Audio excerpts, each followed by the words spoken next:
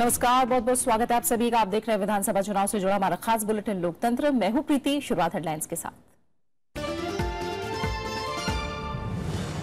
मणिपुर में पहले दौर की 38 सीटों पर मतदान कल। प्रजा पार्टी के तीन उम्मीदवार समेत मैदान में एक सौ अड़सठ उम्मीदवार। इरोम शर्मिला का राजनीतिक दिशा बदलने का दावा।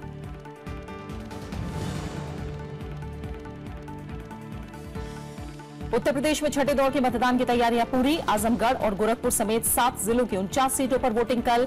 मैदान में 635 उम्मीदवार।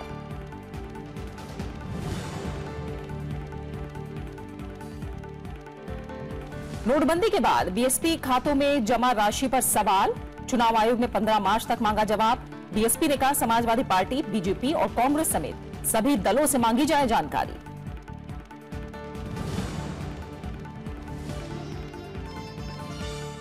यूपी के सातवें चरण के लिए प्रचार तेज, मिर्जापुर में प्रधानमंत्री, गाजीपुर में अखिलेश यादव की रैली, राजबब्बर और प्रमोद तिवारी वाराणसी में करेंगे प्रचार।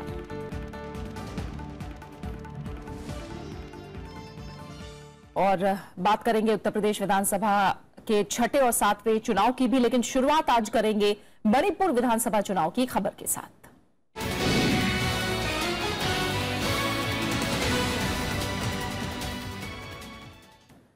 मणिपुर में पहले दौर की 38 सीटों के लिए कल वोट डाले जाएँगे। चुनाव आयोग ने शांतिपूर्ण और निष्पक्ष मतदान की तैयारियाँ पूरी कर ली हैं। इससे पहले कल शाम, पहले दौर के चुनाव के प्रचार थम गया। पहले दौर के लिए कांग्रेस समेत सभी पार्टियों ने प्रचार में पूरा ज़ोर लगा दिया। लेकिन बीजेपी इस बार मणिपुर में नई उम्मीद पाले मैदान में है। मणिपुर में 4 मार्च को पहले दौर के मतदान के लिए प्रचार थमने के बाद मतदाता अब वोट डालने का मन बना चुके हैं। मणिपुर में मोटे तौर पर इस बार आर्थिक नाकेबंदी विकास बेरोजगारी और भ्रष्टाचार ऐसे बड़े मुद्दे हैं जो मतदाताओं के मिजाज को प्रभावित कर रहे हैं corruption is there, a change happening in the form of governance, polity. Some problems here. Uh, uh, in my uh, place, there is no any. Uh, there's uh, good things that I can, but uh, I have to choose one of them. It is better. Manipur has uh, multiple issues, uh, ILP, uh, Naga issues, and uh, unemployed uh, problem. So uh, for me, uh, if uh, all the candidates come up and they are unfit for the to be the leader, then uh, uh, Nota is the best option. इस दौर में कांग्रेस के प्रदेश अध्यक्ष T N Haokip BJP उपाध्यक्ष शरद चंद्र और इरोम शर्मिला की प्रजा party के संयोजक इरेंद्रो लाइचोम्बम समेत कई दिग्गजों की किस्मत का फैसला होना है जानकारों का मानना है कि भ्रष्टाचार के चुनावी मुद्दा बनने से इबोबी सिंह सरकार को नुकसान उठाना पड़ सकता है Earlier, it was taken for granted that Congress would win. But this time, the Congress can never take it for granted. But what is happening is that BJP is consolidating its position. इस दौर में कुल एक उम्मीदवार मैदान में हैं। चुनाव आयोग पूरी तरह मुस्तैद है और विद्रोही संगठन अब तक चुनाव को लेकर शांतिपूर्ण रवैया दिखा रहे हैं कि सबसे अच्छी बात यह है कि इस समय सारे समूहों ने यह किया है कि वे लोगों से अपील कर रहे हैं कि लोग चुनाव में भाग लें, और इसका मतलब यह है कि चुनाव स्वच्छ होगा और चुनाव शांतिपूर्ण होगा। राज्यसभा टेलीविज़न के लिए कैमरा पर्सन प्रशांतों के साथ इम्फाल से अखिलेश सुमन। और अखिलेश सुमन सीधा इम्फाल से हमारे साथ जुड़े, उनका रुख करेंगे। अखिलेश आपने रिपोर्ट के ज़रिए बताया कि माहौल अच्छा है और विद्रोही गुट भी उस तरह का रुख नहीं दिखा रहे जैसा दिखाते रहे हैं। आ, कल ही क्योंकि पहले दौर का मतदान होना है आर्थिक नाकेबंदी भी झेली है कुछ छिटपुट हिंसा की खबरें भी आई हैं। जानना चाहेंगे फ़िलहाल कल के मतदान को लेकर आज किस तरह की तैयारियाँ दिख रही हैं?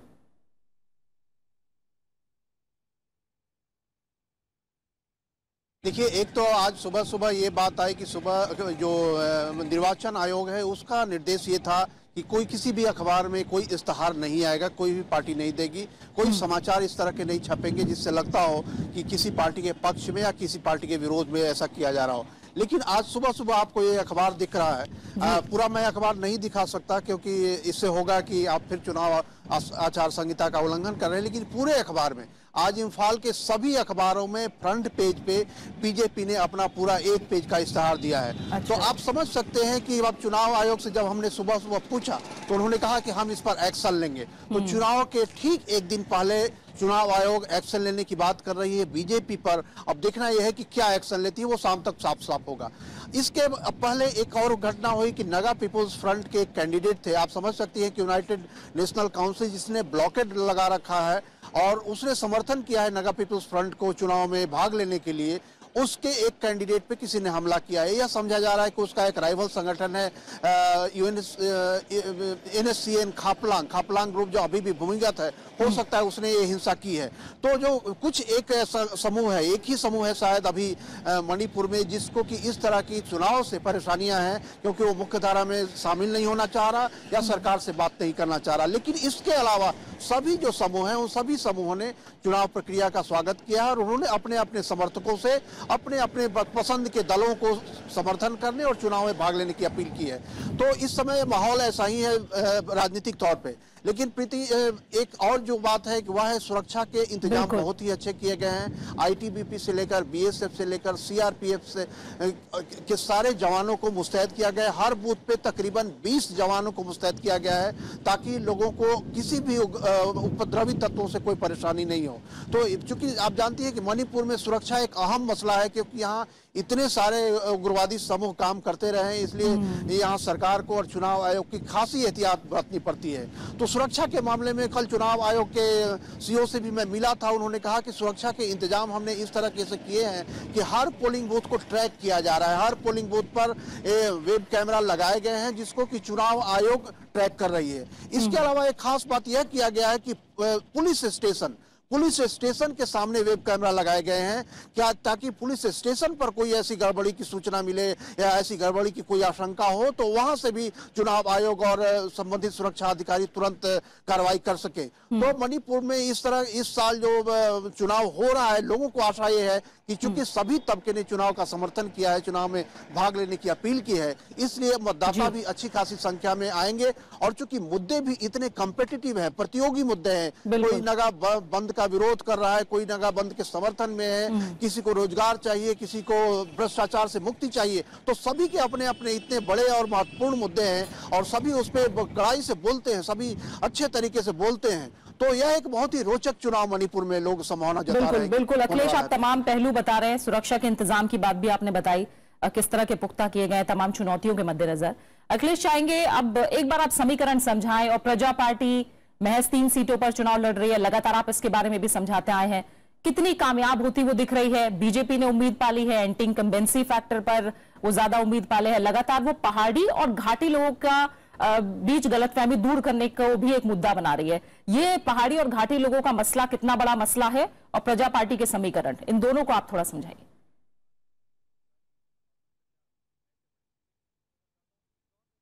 देखिए, एक जो प्रजा पार्टी की बात है तो प्रजा पार्टी ने महज तीन महीने पहले चुनाव में भाग लेने की इच्छा जताई, उन्होंने घोषणा की और उन्हें प्रजा के नाम से एक संगठन बनाया। उसको रजिस्ट्रेशन भी चुनाव की घोषणा के बाद मिली। तो बहुत पहले से अगर उन्होंने मन बनाया होता तो यहाँ के जानकारों लोगों का कहना है कि हो सकता है उनको अच्छी खासी कामयाबी मिल सकती थी। लेकिन बहुत देर से उन्होंने निर्णय लिया और जो प्रजा पार्टी के कुछ समर्थक दल हैं जिसमें एक सीपीआई है सीपीआई के यहाँ सेक्रेटरी ने हमको बताया कि उन्होंने 2014 में ही इरोम शर्मिला को कहा था कि आप लोकसभा का चुनाव लड़िए हाँ। और हम सारे लोग आपका समर्थन करें। सारे लोगों का मतलब कि जो लेफ़्ट डेमोक्रेटिक फ्रंट जो है यहाँ के छोटे दल हैं सीपीआई सीपीएम जेडीयू इसके अलावा एनसीपी और इसके अलावा PPP MD Manipur democratic front ये ये सारे लोगों ने कहा था कि आप समर्थन करेंगे हम आप खड़े होइए। लेकिन उस समय इरोम शर्मिला ने मन नहीं बनाया था। लेकिन अब जब मन बनाया है तो उनके खास मुद्दे हैं। एक तो सही बात है कि वो arm forces special power act के खिलाफ उन्होंने 16 साल जो लड़ाई लड़ी। उसके कारण इस लोगों इस प्रदेश के लोगों में उनके प्रति श्रद्धा है। और उस श्रद्धा को वो चाहती है कि सरकार में आकर विधानसभा में आकर उस बात को और ज़्यादा ज़ोर से उठाए। तो उनका कहना है कि अगर तीन में से एक कैंडिडेट भी हमारा विधानसभा में आता है तो हम अपनी बात को काफ़ी पुरजोर तरीके से उठाएँगे।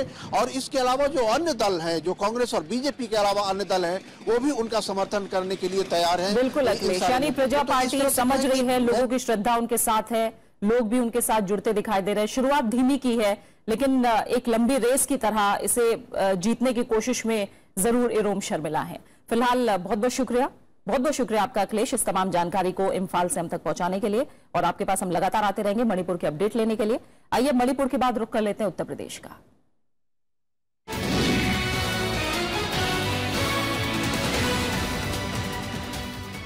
उत्तर प्रदेश के छठे दौर में सात जिलों की उनचास सीटों के लिए कल मतदान होगा। चुनाव आयोग ने इसके लिए तैयारियाँ पूरी कर ली हैं। कल शाम प्रचार थमने के बाद उम्मीदवार अब घर घर जाकर वोट मांग रहे हैं। छठे दौर में करीब पौने दो करोड़ मतदाता 635 उम्मीदवारों की किस्मत का फैसला करेंगे। बीएसपी ने सभी उनचास सीटों पर उम्मीदवार उतारे हैं तो वहीं बीजेपी 45, समाजवादी पार्टी 40, आरएलडी 36 और कांग्रेस 10 सीटों पर मैदान में है। छठे दौर में 17,926 मतदान केंद्र बनाए गए हैं। इस दौर में मुलायम सिंह यादव के संसदीय क्षेत्र आजमगढ़ समेत योगी आदित्यनाथ के दबदबे वाले गोरखपुर में मतदान होना है। छठे दौर में बढ़त हासिल करने के लिए सभी राजनीतिक पार्टियों के आला नेताओं ने पूरी ताकत झोंक दी है। पिछले चुनाव में समाजवादी पार्टी को इस इलाके में एक तरफा जीत मिली थी। उत्तर प्रदेश के चुनाव में अब सिर्फ़ आखिरी दौर का प्रचार जारी है। बदले हुए समीकरणों को अपने पक्ष में करने के लिए सभी राजनीतिक दल चुनाव मैदान में डटे हैं। आठ मार्च को आखिरी चरण के लिए वोट डाले जाएँगे। वोटों को अपनी पार्टी के उम्मीदवारों के पक्ष में करने के मकसद से आज भी सभी राजनीतिक दलों के स्टार प्रचारक कई जगहों पर रैलियाँ कर रहे हैं। प्रधानमंत्री नरेंद्र मोदी आज मिर्जापुर में चुनाव प्रचार करेंगे। इसके बाद प्रधानमंत्री चार, पाँच और छह मार्च को लगातार तीन दिन अपने संसदीय क्षेत्र वाराणसी में रहेंगे। इसके लिए ज़ोर शोर से तैयारियाँ भी चल रही हैं। वहीं बीजेपी अध्यक्ष अमित शाह के आखिरी दौर के प्रचार के लिए चार जनसभाएँ होनी हैं। अमित शाह आज गाजीपुर ज़िले में तीन रैलियाँ करेंगे। इसके बाद वाराणसी क्षेत्र में भी उनकी एक जनसभा होगी। समाजवादी पार्टी के राष्ट्रीय अध्यक्ष और सूबे के मुख्यमंत्री अखिलेश यादव गाजीपुर और चंदौली में धुआंधार चुनाव प्रचार करेंगे। अखिलेश यादव गाजीपुर ज़िले में सात चुनावी सभाओं को संबोधित करेंगे। इसके अलावा अखिलेश यादव की चंदौली में भी एक रैली होनी है।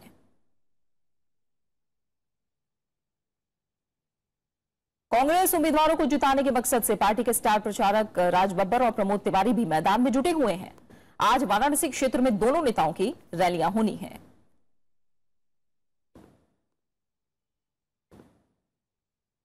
इसके अलावा पूर्व क्रिकेटर और कांग्रेस नेता मोहम्मद अजरुद्दीन भी जौनपुर में पार्टी उम्मीदवारों के लिए चुनाव प्रचार करते नज़र आएँगे। अजरुद्दीन की जौनपुर में एक रैली और रोड शो होना है।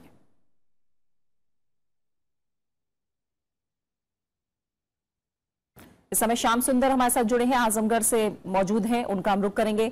शाम कल चुनाव होना है, जानना चाहेंगे आज इसके मद्देनजर किस तरह की तैयारियाँ, कितनी मुस्तैद तैयारियाँ दिख रही हैं?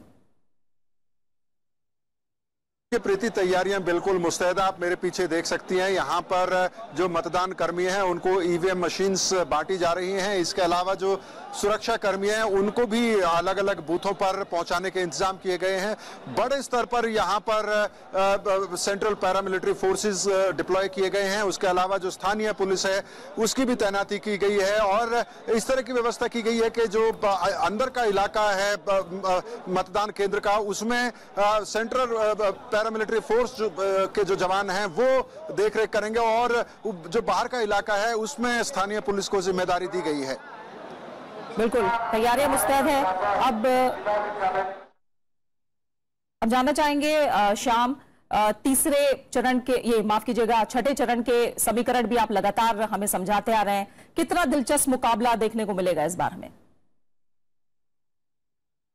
देखिए, बहुत ही दिलचस्प मुकाबला है और इसकी वजह यह है कि लगातार बहुजन समाज पार्टी और भारतीय जनता पार्टी ने इस चरण के चुनाव को त्रिकोणीय बनाने का प्रयास किया है। आपने जैसे खुद बताया कि छठे चरण में जिन सीटों के लिए मतदान होना है, उस पर समाजवादी पार्टी को भारी सफलता पिछले चुनाव में मिली थी। आजमगढ़ की दस में से नौ सीटें समाजवादी पार्टी को मिली थी, लेकिन इस बार बहुजन समाज पार्टी ने काफ़ी अच्छा होमवर्क किया। जहाँ तक टिकट डिस्ट्रीब्यूशन का सवाल है, उन्होंने सामाजिक समीकरण समीकरणों को बहुत ही बारीकी से समझकर उस हिसाब से अपने उम्मीदवार उतारे हैं और उसकी वजह से यहाँ पर जो लड़ाई है, वो त्रिकोणीय बनती हुई नज़र आ रही है। लेकिन जब आप और ज़मीन पर जाकर मतदाताओं से बात करते हैं तो आपको समझ में आता है कि समाजवाद सिर्फ़ समाजवादी पार्टी को त्रिकोणीय लड़ाई होने से नुकसान नहीं है। अगर आप भारतीय जनता पार्टी और बीएसपी के मतदाताओं को देखते हैं तो उसमें भी एक कंफ्यूजन नज़र आता है। मसलन जहाँ पर बहुजन समाज पार्टी का ठाकुर बिरादरी का उम्मीदवार है, वहाँ पर बीजेपी को, का जो नेचुरल एक वोट बैंक माना जाता है, ब्राह्मण और क्षत्रिय, उसको नुकसान होता हुआ नज़र आता है। उसी तरह से ओबीसी में जो अदर ओबीसी हैं नॉन यादव ओबीसी जिनको कहा जाता है, वहाँ निषाद हुए, राजभर हुए, इस तरह के जो ओबीसी हैं, उनको भारतीय जनता पार्टी ने अपने पाले में करने की कोशिश की है। लेकिन उम्मीदवार उम्मीदवार के ऊपर बहुत कुछ डिपेंड करता है तो कुल मिलाकर बहुत ही दिलचस्प चुनाव यहाँ पर हो रहा है। लेकिन एक बात जो समाजवादी पार्टी के पक्ष में जाती हुई नज़र आती है कि कोई ऐसी कोई सत्ता विरोधी लहर नज़र उस, उनके उनके खिलाफ नज़र नहीं आती। अगर उनके पक्ष में लहर नहीं है तो उनके खिलाफ कोई ऐसी लहर नज़र नहीं आ रही है। बिल्कुल। शाम आप काफ़ी दिनों से मुआयना कर रहे हैं छठे चरण की जो सीटें हैं खासतौर से आजमगढ़। लगातार आपने युवाओं से बात की बुज़ुर्गों से बात की महिलाओं से बात की। समझना चाहेंगे जब आप बात कर रहे हैं तो ज़रूर मुद्दों की बात करते हैं जो जमीनी मुद्दे हैं वो उनकी ज़ुबान पर होते हैं। लेकिन अब आखिर तक आते आते, बिल्कुल कल मतदान है। क्या लग रहा है कि इन मुद्दों को जहन में रखकर ही मतदाता निकलने वाला है या फिर वही राजनीतिक स्वांग और जाति और मज़हब बटन दबाने से पहले यही जहन में रहने वाला है? क्या समझ में आया अब तक आपको? देखिए प्रीति, जहाँ तक मुद्दों का सवाल है, जब आप नौजवानों से बात करते हैं तो नौजवानों के लिए जो सबसे बड़ा मुद्दा सामने आता है, वो रोज़गार का मुद्दा सामने आता है। ज़्यादातर लोग ये कहते हैं कि आजमगढ़ में एक विश्वविद्यालय की स्थापना होनी चाहिए। आजमगढ़ के आसपास उद्योग धंधे लगे, लगाए जाने चाहिए, जिससे कि यहाँ के नौजवान मुंबई, दिल्ली या दूसरे महानगरों में जाने के लिए मजबूर ना हो और उनको यहीं पर रोज़गार मिल सके।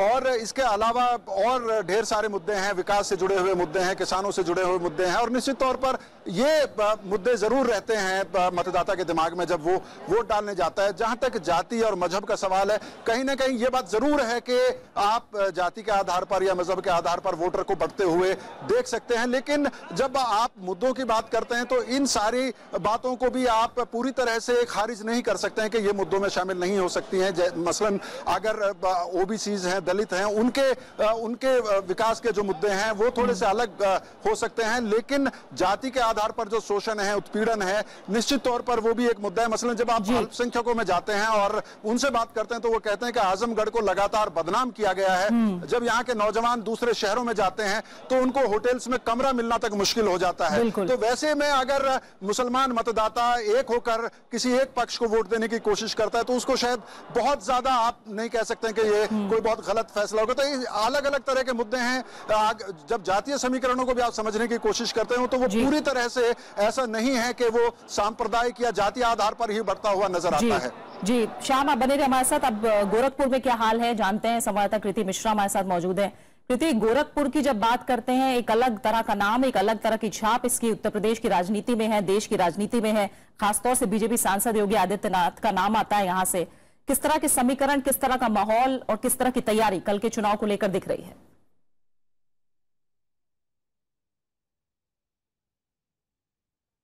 जी हाँ प्रीति, देखिए, अगर हम गोरखपुर की बात करें और पूरे इस पूर्वांचल ये जो जोन है उसकी बात करें तो हर पॉलिटिकल पार्टी के लिए बहुत ज़रूरी है कि किसी तरह से वो अपना आधिपत्य यहाँ पर स्थापित कर सके। और स्पेसिफिकली गोरखपुर की बात की जाए तो पाँच बार एमपी रह चुके हैं यहाँ से योगी आदित्यनाथ 2002 में। उन्होंने हिंदू युवा वाहिनी के नाम से एक ग्रुप की भी शुरुआत की थी। लेकिन जब टिकट बंटवारा हुआ तो कहीं ना कहीं एक डिससेटिस्फैक्शन सामने आया और योगी आदित्य ने लगातार इस बात को खारिज किया कि कहीं कोई भी नाखुश नहीं है लेकिन जैसी रिपोर्ट्स आ रही हैं कि उनके जो समर्थक हैं वो सोचते हैं कि उनके गुरु को बीजेपी ने एडिक्वेट रिप्रेजेंटेशन नहीं दिया जो वो डिजर्व करते थे वो उनको नहीं मिला। तो कई ऐसी सीट्स है जहाँ पर खबरें हैं कि भीतरी घात हो सकता है बीजेपी के खिलाफ। तो ये बीजेपी के लिए एक बड़ी चुनौती है। दूसरी बात अगर मैं 2012 की चुनाव की बात करूँ तो देखिए गोरखपुर में नौ कंस्टिट्युएंसीज हैं जिसमें से चार बसपा को मिली थी तीन बीजेपी को मिली थी और एक एक कांग्रेस और समाजवादी पार्टी को मिली थी।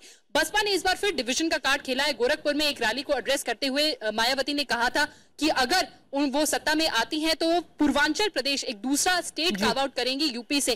तो ये कहीं ना कहीं एक बड़ा मुद्दा रहेगा जो समर्थक हैं जो जहाँ के वोटर हैं वो किस तरह से इस ऑप्शन को देखते हैं ये भी देखने वाली बात होगी। दूसरे मुद्दे और भी कई सारे हैं गोरखपुर में देखिए जापानीज इंसेफ्लाइटिस की लगातार बात होती रही है। प्रीति, पिछले कुछ सालों में करीब चार हज़ार बच्चों की मौत हो चुकी है। ये जो पूरा एरिया है, ये फ्लड के बहुत प्रोन है। लगातार बाढ़ आती है। पाँच हज़ार से ज़्यादा गाँव इम्पैक्ट होते हैं। लेकिन प्रीति, सबसे बड़ी ये एक विडंबना है कि जो चुनाव प्रचार था, इस पूरे जोन में कहीं ना कहीं ये सारे जो असली मुद्दे हैं, वो हाशिए पर चले गए थे और कास्ट रिलीजन कम्युनिटी इन्हीं पर सारी जो जितना पोलिटिकल डिस्कोर्स था, वो रह गया था। अब देखना होगा कि जब कल लोग अपना बैलेट कास्ट करेंगे तो क्या वो जाति और धर्म के आधार पर करेंगे या जो असली मुद्दे हैं उसके आधार पर करेंगे? जी प्रीति। बहुत बहुत शुक्रिया कृति। आपका हमारे साथ जुड़ने के लिए इस जानकारी को गोरखपुर से हम तक पहुँचाने के लिए। श्याम सुंदर आपका भी बहुत बहुत शुक्रिया। आजमगढ़ से तमाम जानकारी हम तक पहुँचाने के लिए। आइए आगे बढ़ते हैं। जैसा हमने आपको बताया कि छठे दौर का मतदान कल होना है और सातवें दौर के लिए इस समय सभी दलों ने ताकत झोंकी हुई है। प्रचार को लेकर बीएसपी प्रमुख मायावती ने कल सातवें दौर के लिए रैलियाँ की। उन्होंने चंदौली और भदोही की रैलियों में विरोधी पार्टियों की जमकर आलोचना की। मायावती ने प्रदेश सरकार और केंद्र सरकार को नाकाम करार दिया। बीएसपी अध्यक्ष मायावती ने फिर से केंद्र सरकार की तीखी आलोचना की। उन्होंने नोटबंदी को केंद्र सरकार के कामकाज पर पर्दा डालने वाला राजनीतिक कदम करार दिया। मायावती ने दावा किया कि केंद्र सरकार की वादा खिलाफी से लोग इतने नाराज़ हैं कि बीजेपी मुख्यमंत्री पद के लिए चेहरा तक सामने नहीं कर पा रही। ऐसे हालातों में अब बीजेपी अपने किसी भी चेहरे को प्रदेश के मुख्यमंत्री के रूप में पेश करने की अपनी अभी तक की हिम्मत नहीं दिखा पाई। मायावती ने समाजवादी पार्टी सरकार पर भी तीखा निशाना साधा। उन्होंने कहा कि बीते पाँच साल में फिर से उत्तर प्रदेश की कानून व्यवस्था बदहाल हो गई है। मायावती ने दावा किया कि अखिलेश सरकार विकास से ज़्यादा विकास के प्रचार प्रसार में पैसा खर्च कर रही है। प्रदेश की जनता का सरकारी करोड़ों अरबों रुपया अकेले मीडिया में ही काफ़ी खर्च कर दिया गया है। उन्होंने मौजूदा चुनाव में बीएसपी की एक तरफा जीत का दावा किया। मायावती ने यह भी कहा कि सत्ता में आने के बाद वो प्रदेश में विकास की गति तेज करेंगी। Bureau report, Rajya Sabha TV. वित्त मंत्री अरुण जेटली ने दावा किया है कि विरोधी पार्टियों के शासनकाल से हताश लोग अब बीजेपी के साथ जुड़ गए हैं। वाराणसी की प्रेस कॉन्फ्रेंस में उन्होंने कहा कि नरेंद्र मोदी सरकार से गरीब तबकों के भीतर नई उम्मीद जगी है और उत्तर प्रदेश में उनके परंपरागत मतदाताओं के अलावा बड़े पैमाने पर दूसरे लोग पार्टी के साथ जुड़ रहे हैं। हमारा जो परंपरागत वोट था, वो हमारे साथ है। और एक बड़े पैमाने में हमारी नीतियों की वजह से कमज़ोर और गरीब मतदाता को भी अब उम्मीद नज़र आती है आर्थिक और सामाजिक न्याय की। वो हमारे साथ जुड़ा है। बीएसपी ने कहा है कि चुनाव आयोग को उसके साथ साथ समाजवादी पार्टी, बीजेपी और कांग्रेस समेत सभी दलों से नोटबंदी के बाद अपने अपने खाते में जमा किए गए धन का विवरण मांगना चाहिए। बीएसपी के राष्ट्रीय महासचिव सतीश चंद मिश्रा की यह टिप्पणी चुनाव आयोग के उस कदम के बाद आई है, जिसमें आयोग ने बहुजन समाज पार्टी से नोटबंदी के बाद अपने खाते में जमा किए गए धन के बारे में विस्तृत जानकारी मांगी है। आयोग ने बीएसपी प्रमुख मायावती को नोटिस जारी करके इस बारे में 15 मार्च तक जवाब मांगा है। सतीश चंद मिश्रा ने कहा कि बीएसपी समय सीमा के भीतर जवाब दाखिल कर देगी क्योंकि उसने कुछ गलत नहीं किया है। प्रवर्तन निदेशालय ने 26 दिसंबर को जाँच में पता लगाया था कि 8 नवंबर को नोटबंदी के बाद बीएसपी के यूनियन बैंक ऑफ़ इंडिया के खाते में 104 करोड़ रुपए से ज़्यादा की धनराशि जमा की गई है। हालाँकि पार्टी प्रमुख मायावती ने तब साफ़ कहा था कि इस पैसे का बीएसपी के पास पूरा हिसाब है। बीजेपी ने चुनाव आयोग से उत्तर प्रदेश विधानसभा चुनाव में महिला, पुलिस और अर्धसैनिक बलों की तैनाती की मांग की है। आयोग को लिखी चिट्ठी में बीजेपी ने कहा कि मतदान के दौरान बुर्का पहनी महिलाओं की जाँच की जाए ताकि उनके सही मतदाता होने की पूरी तफ्तीश हो सके। बीजेपी ने आयोग से दरख्वास्त की है कि पोलिंग बूथों पर महिला पुलिस की तैनाती की जाए। पार्टी के मुताबिक फर्जी मतदान रोकने के लिए ऐसा किया जाना ज़रूरी है। बीजेपी ने मऊ और बलिया के संवेदनशील और अति संवेदनशील बूथों की लिस्ट भी तैयार की है, जिसे आयोग को भेजते हुए बीजेपी ने कहा कि इन इलाकों में अर्धसैनिक बलों के बिना निष्पक्ष चुनाव मुमकिन नहीं है। बुरखे में आने वाली महिला मतदाताओं की जाँच की मांग को अन्य दलों ने गैर वाजिब बताया है। और इसी के साथ फ़िलहाल हमारे खास बुलेटिन लोकतंत्र में इतना ही। छोटा सा ब्रेक ब्रेक के बाद देखिए वर्डिक 2017 नमस्कार।